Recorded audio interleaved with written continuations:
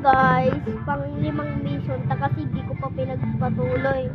Ganito po yung pag, pang limang mission. Higa muna tayo. Sa ano na lang ah, hanggang pang, pang ano na, pang anim. Hanggang bukas. Hanggang bukas tayo mag-vlog ta kasi may pasukan na. And, munod po kayo guys. And like and subscribe and gang gang.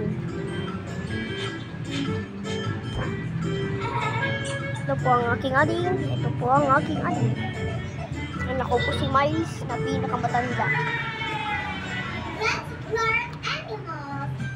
Bye po guys. Sa pang-anim na mission parating na sa sa August 2. Sa August 2. And bye-bye.